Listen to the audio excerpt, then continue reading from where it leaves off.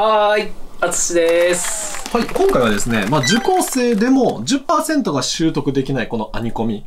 じゃあ10%って何なんっていう風なところについて、まあ、多分質問も多いと思うので、はいそこについて伺っていこうかなと思うんです。やっぱ質問多いですか？そうですね。あ、多いっていうわけじゃないんですけど、何人かがこう9割できるって言って、1割はなんでできないんですかっていう質問があるので、ね、そうですよね。その、はい厚先生の講座を受けられてる方は90%、9割の方は習得できますよっていう風に言われていて、じゃあ10%は私10%なんかなみたいなところとかっていうのがあるってことですよね。そうですね。はい、わかりました。そこについて回答していきましょう。はい。このチャンネルは自分のペットと喋りたい人に向けて配信しております。えーチャンネル登録と説明欄の LINE アットの無料講座の登録よろしくお願いします。はい。では早速中に移っていきたいと思います。はいよく聞かれるのってどういう風に聞かれるんですか？1割に入っちゃった時に、その後に何かしてもらえることとかあるんですか？とかってうん、この、いや、1割に入る気なんですか？みたいな。うんこのやる前から負けることを考える奴がいるかっていうことなるほど。あ、まずじゃあごめんなさい。1割の人はどんな人なんですかっていうところはどう答えるんですか？1割に入るんじゃないかと思ってる人ですって答えます。ああ、じゃあ1割に入るんじゃないかと思いながら受講される方がその1割になりますよっていうところが結論ですか？高確率ですね。あももう8割ぐらいじゃないですか。ああ、なるほど。もう要は不安というか。はい。不安と共に入ってるんで。ああ、なるほど。希望と共に入ってないんですよ。はいはいはい。なんか、私だけできなかったどうしようっていう不安と共に入ってるんで、なっちゃうんですよ。なるほど。なんか僕とかやったら逆に、例えば100人います。はい。じゃあ10人できないわけじゃないですか。はい。え、ちょろって思っちゃうんですけど。そうですよ。9割だったらできるでしょっていう話なんです。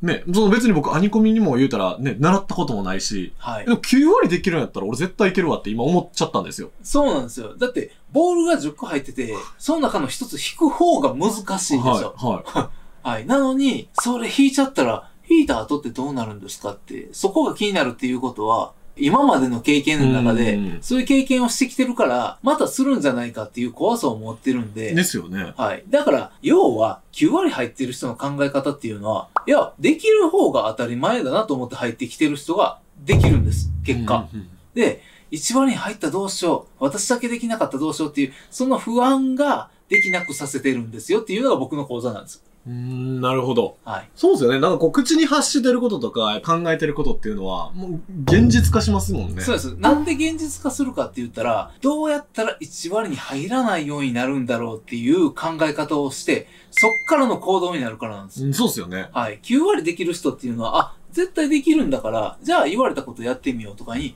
なるんですよ。うんうんうんうんだから、その考え方の違いで行動が変わってくるんですよ。うんうんうんうん。そうですよね。はい。1割に入らない方法を取ろうとしたら、なんか、じゃあこうしたら1割にならないんじゃないかみたいな、全部消極的になっていくんですよ。はいはいはいはい。ねえ、それでガチガチにこうちっちゃく固まってる人が、じゃあそれで習得に向けてこう羽ばたいていけるかっていうと羽ばたいていけないですもんね。ずっと縮こまってるような。そうです。ちょっとめちゃくちゃいいこと言いましたね。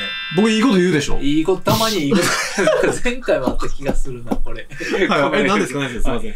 自分をちっちゃく見てる人っていうのが、要はできないんですよ。自分はできるって、大きいじゃないですか。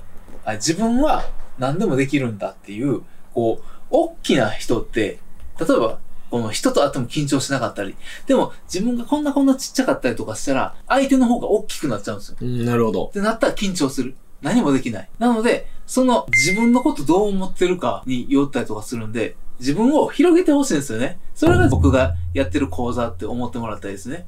こんな自分と思ってるやつが、こんな可能性があったんだっていう自分になって、はい、出ていけるっていうのは僕の講座になってるんでう、んそういう思いで入ってきてもらった人はできますよということです。私なんてできるかなって思ってる人はできないっていうことです。そうですよね。はい。でその物事の捉え方次第ですよね。10%にフォーカス当てるのか、90%にフォーカス当てるのかで、同じ料金払って何かをやっても、習得度が変わってしまうっていう。変わってしまいますね。ね、そういうことですよね。はい。ネガティブで入ってきてできるようになる方もいるわけじゃないですか。はい。絶対ポジティブだったっていうわけじゃないですよね。全然ちゃいますね半分以上の方は何かしらのネガティブさを持って入ってこられますね。ですよね。じゃあ、ネガティブさを持ってきて、はい。ポジティブ寄りに行ける人と、ネガティブを持ってきて、ネガティブのままでいって習得できずに終わっちゃう人の、その辺の違いってなんかどこにあるんかなってめっちゃ気になります。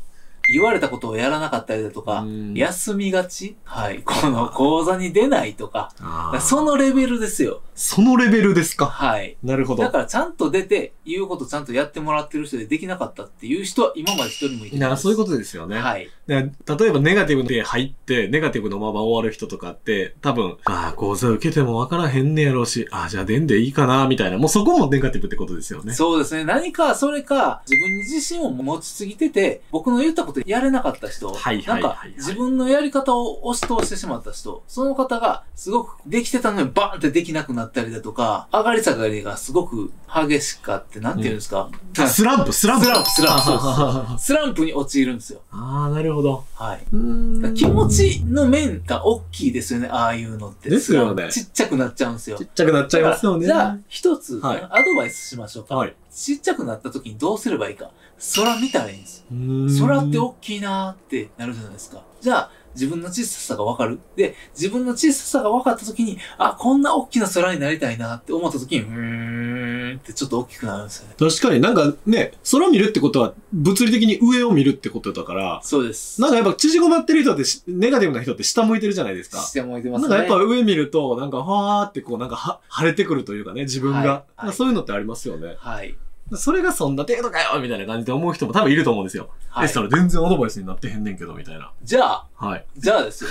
えー遠くを見るっていうのはいいです。うーん、なこ。の、緊張してる時に目の前が真っ白になるとか言うじゃないですか。あれってこんなとこ見てるからです。はいはいはいはちゃんと遠くを見たら、こう広がるんですよ。い。ね。とにかく、何でもいいから広げること。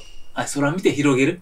ここで見てたらこうなるんで、はい、遠くを見うるっていうのが広がることになります。絶対そうですよね。はい多分これ見ても、いや、そんなん見てもさ、多分無理だろうっていうふうに思ってる方って、もうまたそこでまた考えがネガティブになってるそうです。というか、そういう時に空見たらいいじゃないですかってことです。気晴れますよっていうそう話です。だから、ですよね。そういう時は毎回、もう、そういうルーティン、毎回毎回やるルーティンにしてもらったらいいです。うん毎回空見た時に、あ、空でっかいな、自分ってちっちゃいな、じゃあもうちょっと空に負けないぐらい大きくしてやろうっていう風にやってもらったら、いつかはその空みたいな大きな人になれるんじゃないかなと思います。うんうんね、ポジティブになってきますよね。そうです。じゃあはい9割できますよ。っていうことですよね。そうなったらはい。わかりました。はい。今回の動画ちょっとまとめていくと、まあ、10%習得できないのはなんでなんですか ?10% に入ってしまったら私どうしてくれるんですか？っていう方がいらっしゃると。はい。まあ、そういう方に向けてはもう空を見ましょそうです。う。はい。晴れます。はい。はい大きくしましょうということですね。はいそうですよねとにか？く自分を大きく。ね。いきなり大きくしなくていいですもんね。そうです。それちょっと空見て、ちょっと広がってみたいな。まあ、それもなんか積み重ねというか繰り返しの部分ってありますよね。そうですね。ねなんか自分にはできないんじゃないかってめちゃくちゃちっちゃくなってるっていう言葉なんですよ。ね。だから言葉。でその人の小ささってすごくわかるんです。はい。なので自分は何でもできるっていう風に思ってもらえるのが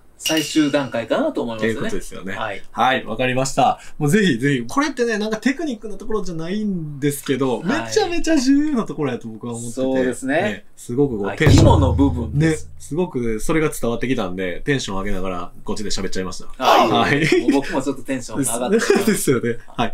では、今回の動画はこれで以上になります。ありがとうございました。はい、ありがとうございました。バイバーイ。概要欄にある LINE アットに登録していただくと、ペットと話せる練習法を無料で公開してます。ぜひ登録してください。